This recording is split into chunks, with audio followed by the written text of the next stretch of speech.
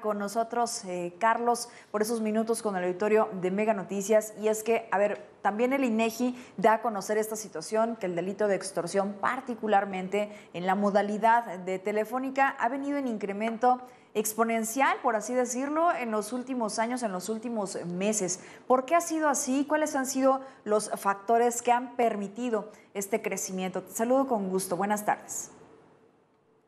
Buenas tardes, ¿cómo estás? Así es, como bien lo dices, el delito de extorsión está creciendo. Tan solo en lo que va del sexenio federal, te voy a dar algunas cifras, si me lo permites. En lo que va del sexenio federal, 38 mil, poco más de 38 mil casos o denuncias de extorsión hay.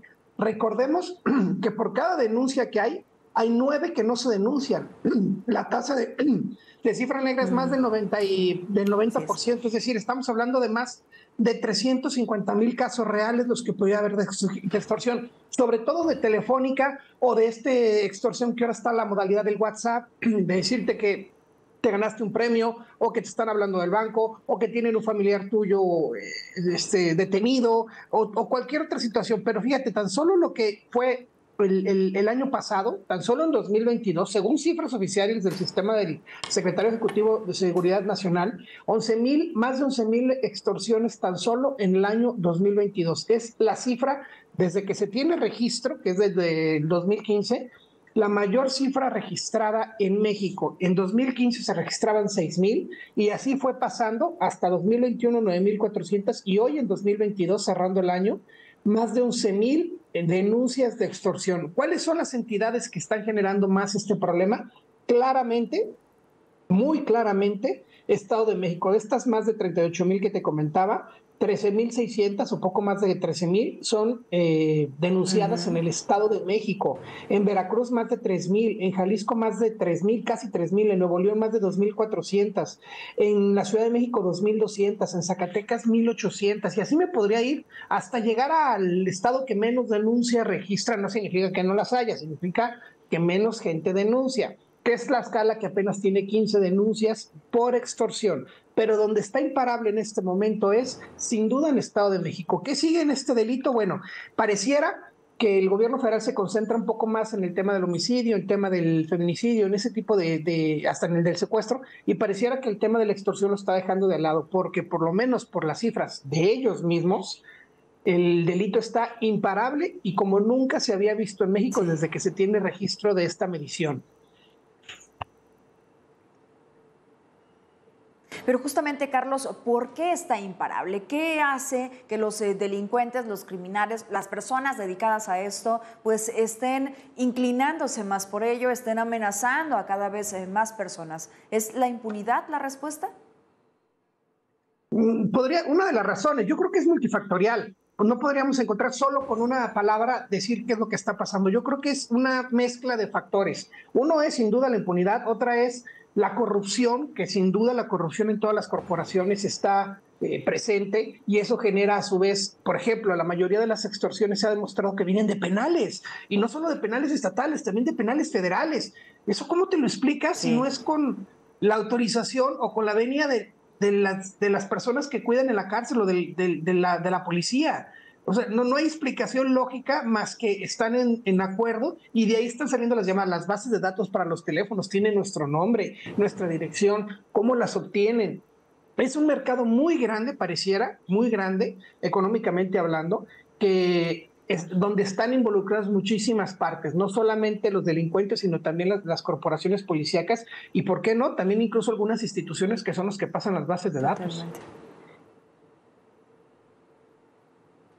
Sí, total, totalmente, y, no se puede pensar en otra cosa más que en esta. Alguien está proporcionando esa información, la están obteniendo de algún lado y solamente pues te hace pensar eso, que existe corrupción en mucho sentido y en muchos eh, niveles. Ahora, a ver, eh, las personas eh, no realizan su denuncia y habladas precisamente de esta cifra negra, de que cada 10 extorsiones que se registran, al menos 9 quedan realmente fuera del registro, justamente porque la gente no procede, no acude a un ministerio público, no presenta una denuncia y por lo tanto no existe una carpeta de investigación. Pero en muchas ocasiones nos dicen las autoridades, si tú detectas que es una extorsión, cuelga y eh, denuncia, aunque bueno, las personas ya no realizan este paso. Pero ¿cómo diferenciar en que es una extorsión que no puede pasar a mayores a otra que sí conocen dónde vives, sí conocen con quién estás, quiénes son tus familiares? ¿Se puede saber?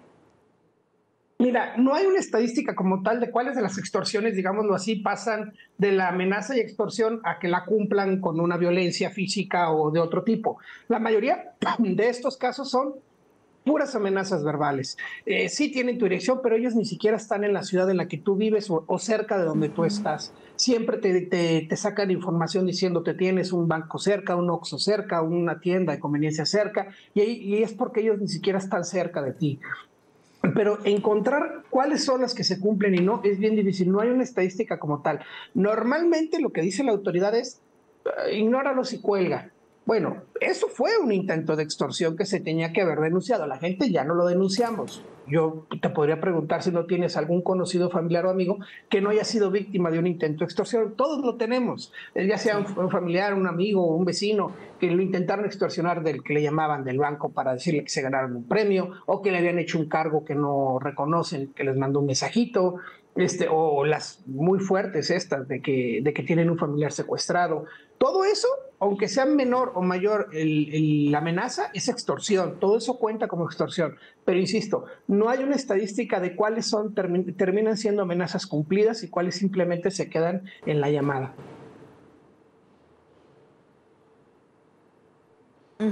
Ahora, tú mencionabas hace unos momentos que muchas de estas llamadas son de penales federales o penales estatales. ¿Siguen estando a la cabeza los lugares de origen, estos, estas cárceles, o eh, de repente ya son eh, grupos eh, muy bien armados, muy bien articulados, que se dedican específicamente a este delito?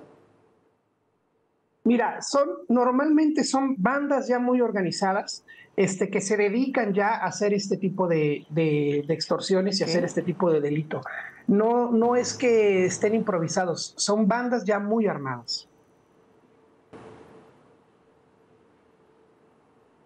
Ahora, déjame preguntarte esto, porque lo hemos hablado con otro tipo de delito que está de la mano con otros tipos de delito. El de la extorsión eh, en sus diferentes modalidades, pero particularmente la telefónica, ¿está ligada también a otros?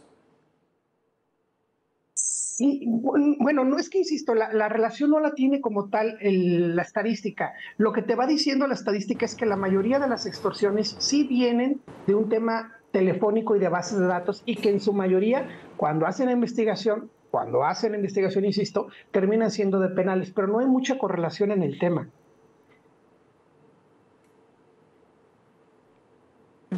Sí, sobre todo sabes que eh, eh, eh, de un tiempo para acá, de algunos años para acá, de repente nuestra información, independientemente de si se filtra o si se consigue a través de alguna autoridad, tiende a ser muy pública gracias a las redes sociales. De ahí las recomendaciones que se les hace a la población de cuidar precisamente esa información. Así es. Y cuidarse mucho ustedes, no den información cuando les llamen o les manden un mensaje. Eso de que se ganaron un premio, un bono, un crédito, un viaje, un crucero, eso es mentira, eso es mentira. Hay muchas campañas ya de los bancos donde dicen ellos que ellos no piden información bancaria, ni de tus tarjetas, ni de tus números secretos, ni nada de eso, ni tus fechas, ni nada de eso. No crean en eso, mejor cuelguen. Y si es cierto, de alguna manera, tarde que temprano les va a volver a llamar al banco para solicitarles la información que les habían pedido o los harán ir a la sucursal. Mejor colgar y deshacernos del problema. Ahora, particularmente en este delito, en la modalidad telefónica, eh, hay algunos estados que son, eh, tienen mayor eh, cantidad de sucesos, independientemente de la, de la estadística que conocemos, sino tienen mayor cantidad de sucesos que se convierten en realidad. Y te lo pregunto así porque cuando platicamos del delito de extorsión, de, negocios. Eh, vemos el sur de Veracruz en donde se practica eh, de repente aventar bombas molotov a las fachadas de los negocios eh, como una forma de presión para el cobro de piso. En este, en el de la telefónica, hay un proceso similar. Eh, híjole, es más difícil porque el cobro de piso te lo hacen en personas. Llegan las personas, los delincuentes, a los, a los establecimientos y los amenazan. Aquí todo es telefónico. Puedes o no caer en, en la extorsión telefónica, pero es muy diferente cuando es telefónico. Pues simplemente cuelgas y ya rezas porque haya sido una broma o una extorsión del cual ya no te van a llamar o, o ya simplemente bloqueas el teléfono y que no sea eh, realidad de que de veras estaban en la esquina esperándote o que te iban a extorsionar en persona. Son bien diferentes los casos. Ok, sí, de todas formas, estar atentos, ¿no? No bajar la guardia, siempre estar eh, en comunicación con, nuestros familiares, incluso porque tú decías, eh, una clásica, el primo, eh, el, familiar lejano que te está hablando y te está pidiendo dinero porque necesita apoyo o que se encuentra alguien secuestrado de tu familia, lo primero es esto que decías, ¿no? Colgar y confirmar esta información. Así es, lo que, lo que inmediatamente tenemos que hacer es colgar y marcarle al familiar, porque lo que hacen los extorsionadores es mantenernos en la línea para que no podamos marcar a nadie más y no, y no entren llamadas, no nos hable nadie. Entonces es colgar, marcar, ¿estás bien? Sí, ok, ya no pasa nada y no volver a contestar la llamada, obviamente. Ahora, para terminar esta conversación eh, contigo, Carlos, ¿qué está haciendo la autoridad? Tú decías hace unos momentos que están más eh, atentos a otro tipo de delitos que particularmente a este. ¿Se está haciendo algo por inhibirlo o es justamente el resultado de, este incremento que ha habido en los últimos años? La, la, realidad es que están haciendo muchas campañas o algunas campañas, no solamente la autoridad, también los bancos, las empresas, todos están haciendo campañas de promoción o de, o de concientización, de difusión, de que no hagas caso, no creas y cuelgues. Creo en lo particular que han tenido algo de éxito, porque ya no, ya no nos la creemos tan sencilla, tan fácil. Ya antes, o hace un año o dos, podríamos ponernos muy preocupados, muy nerviosos, y ahorita ya más fácil, ya no se las creemos tanto. Creo que han funcionado, pero algo como tal, una política pública del gobierno, yo particularmente no la he visto. Quizás sí la exista, yo no la he visto.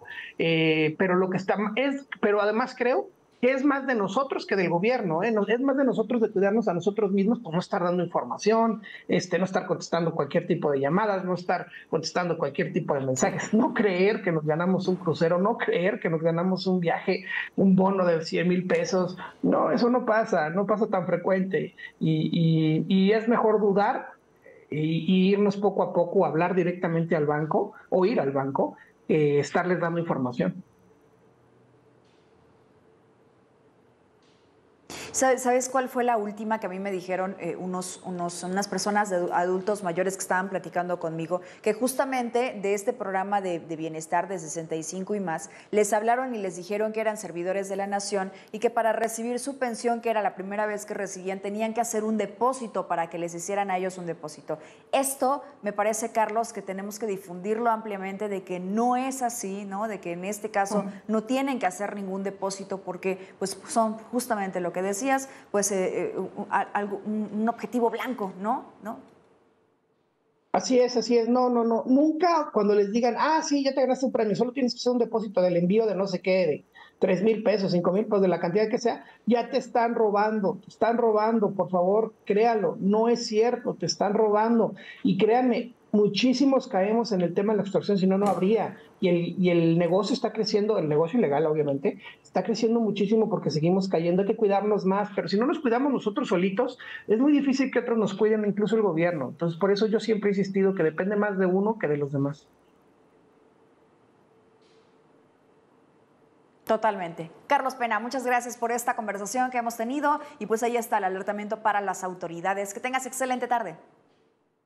Fuerte abrazo, cuídense mucho.